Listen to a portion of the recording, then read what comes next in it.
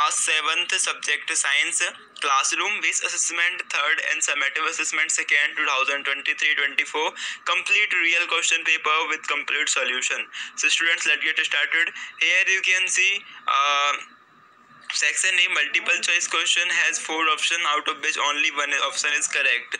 So your first question is which of the following is an example of physical change? First option is digestion, second option is fermentation, neutralization and crystallization. So digestion means uh, digesting the food. Fermentation is another thing. Neutralization means uh, uh, controlling the acids. Anna and uh, then your right answer of first question is crystallization is the change on physical body of water then you can see second question four cars were driven the graph represent the motion of all the cars which of the following lines on the graph represent the motion of the fastest fastest car so this is the car a motion car v car C and car D, four car motion.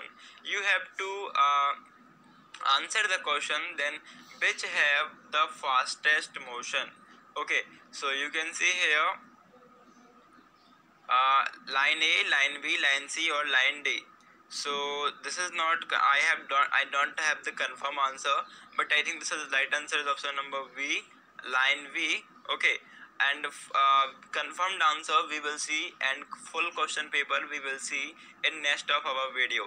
So don't forget students like the video share the channel with all your friends and subscribe the channel. Okay so now we met in another video. Just thanks for watching. Like share and subscribe. Okay thanks for watching